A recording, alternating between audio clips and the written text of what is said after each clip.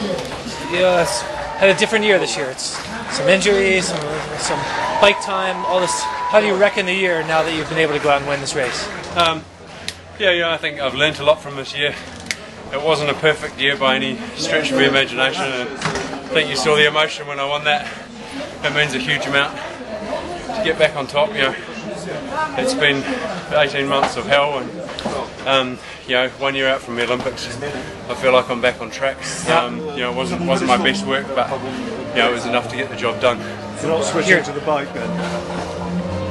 Um, yeah, like, yeah, I think I'm going to be stuck on the bike for next year or so, but um, yeah, I've got to change a few things to try to get some more consistency in the bike.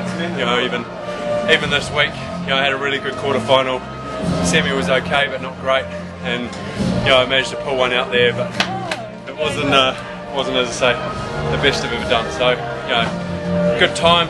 Uh, it's good to be be back out there and uh, really special to be on the winners podium again.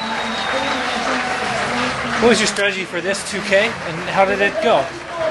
Um, yeah, it was really uh, focus on the start, make sure I don't get dropped there, and uh, you know, pretty much achieved that.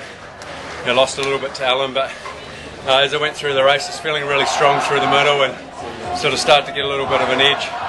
I knew having Ondřej there, it was going to come down to a sprint, so I went probably a lot earlier.